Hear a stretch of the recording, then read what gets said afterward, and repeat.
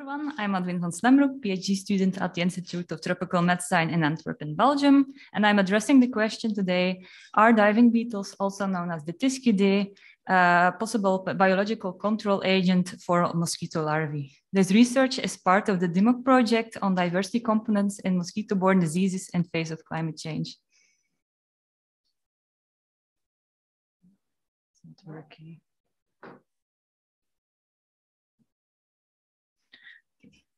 So beetles are a large part of the aquatic biodiversity and can possibly help to control mosquito larvae.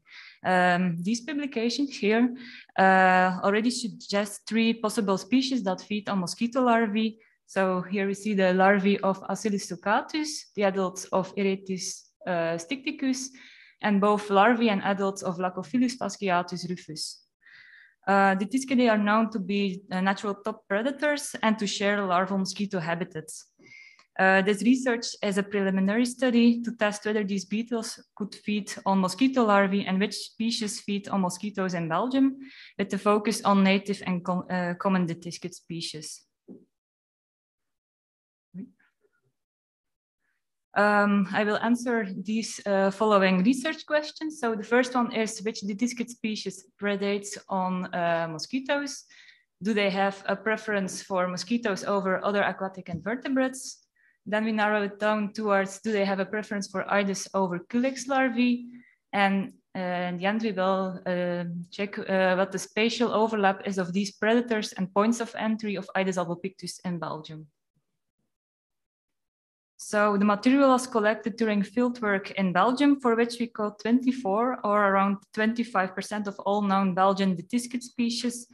Um, these specimens were kept at the insectary of the Institute of Tropical Medicine. And following experiments were done with uh, uh Aedes albopictus and Culex pipiens. So first we checked for a feeding experiment with all the dytiscid species we catched. And, and, afterwards we did a prey choice experiment with first four choices. So uh, Aedes albopictus, Culex pipiens, Chaoborus, and Daphnia. And then we narrowed it down to two, two choices, so Aedes albopictus or Culex pipiens. Uh, this is an uh, a video that with a nice observation of a dytiscid lar larvae feeding on a larvae of Culex pipiens. So I took this in the lab. So here you can see how the larvae is, uh, is searching for prey. Now it catched a mosquito larvae and it's injecting it with enzymes to dissolve it.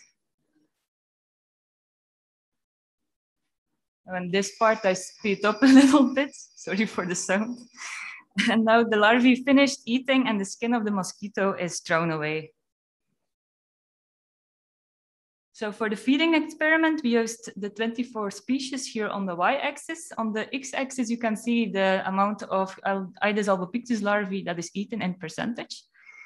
Um, we always put one individual beetle in 80 milliliters of water with five uh, Aedes albopictus larvae and observe them for one hour, as can be seen here on the pictures. We also added a stone so the, the tiscid had something to hold on to and some shelter because they really like to uh, sit underneath the stone.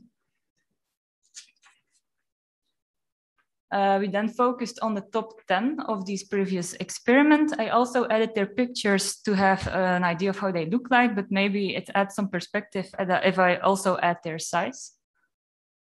So in the right corner, um, a, scale of, yeah, a scale of one centimeter is attached. And like this, we can observe that the bigger species, for example, the Dytiscus marginalis, uh, feeds more on larvae uh, than the smaller species. However, if you look at Agabus undulatus, it's also quite small and it feeds uh, equally well.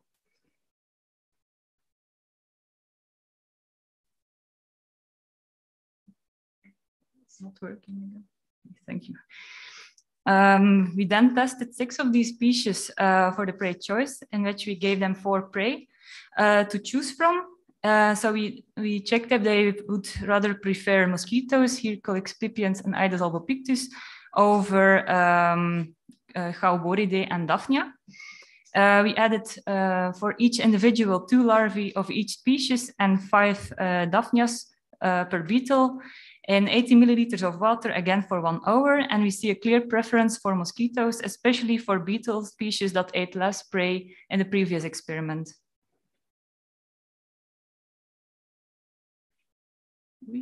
It was two four. okay.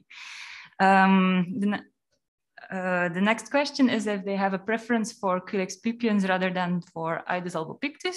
So for this experiment, we provided five larvae of each species in, again, 80 milliliters of water for one hour per individual beetle. And we see a clear preference towards Aedes albopictus, but both Agabus adults uh, fed well on both species. Um, but we saw during the experiment that uh, they often start feeding on Aedes albopictus, and when the species was depleted, they switched towards Culex pipiens. So I will come back to my research questions. So the first one is which beetle species predates on mosquitoes in Belgium? So we saw uh, um, a lot of common and native species. And when we checked the top 10 of these, uh, we saw that they came in variable sizes and stages. So we saw both larvae as adults. For the second research question, do they have a preference for mosquitoes over other aquatic invertebrates? we can definitely say yes. They prefer mosquitoes over Daphnia and Chaoboridae. Then the third question, do they have a preference for Aedes over Culex pipiens, uh, Culex larvae? And here also we saw that they prefer uh, Aedes larvae. However, when the species was depleted, they switched towards uh, Culex pipiens. The fourth and last question was, uh, what is the spatial overlap of these, uh, of these predators and points of entry of Aedes albopictus in Belgium? So we used here uh, the 10 known points of entry of Aedes albopictus from this paper uh, of my colleagues as a result of the monitoring efforts in Belgium and compared these with the occurrence of our top 10 Dytiscid species uh, to create a, a distribution overlap between these species and the points of entry here shown. Uh, the points are here tire companies, parking lots, a port, and a lucky bamboo company. In green, you can see the confirmed presence within five kilometers for the Dytiscid species on these points of entry. Light green, but here it's more white, uh, the presence that is not confirmed but presumed. Uh, yellow, the presence within five kilometers that is not confirmed but plausible. And in red is not uh, present at all in the region. So it's clear that we always have two, uh, at least two Dytiscid species present uh, with confirmation and often also a species that is presumed present of these only nine species here.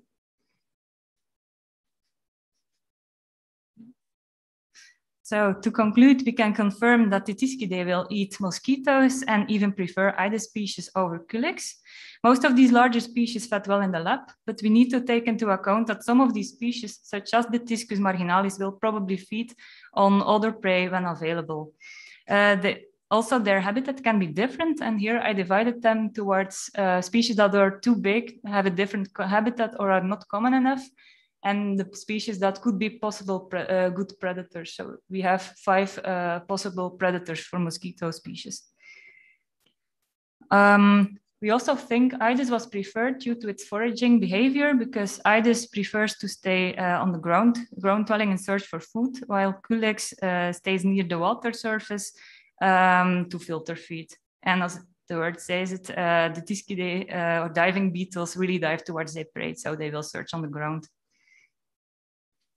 And via the distribution overlap, we are almost certain that Aedes albopictus will encounter uh, the Dytiscidae, and these beetles, beetles are active all year round, except when freezing, but of course mosquitoes are also not active then. And many of these uh, Dytiscidae species are good flyers. So we can now ask ourselves, are Dytiscidae a good new uh, biological vector control agent? Uh, with these experiments, so it's preliminary study, uh, we can clearly see that it's a good potential to use them as a uh, control agent against Aedes larvae, but we need to address some uh, difficulties with these insects. For example, the rearing is rather a challenge. Um, as you can see, the larvae are cannibalistic, so you need to rear them separately. Uh, they also pupate in the soil, so not in water like uh, mosquito pupae. So you need to put the last larval stage into soil.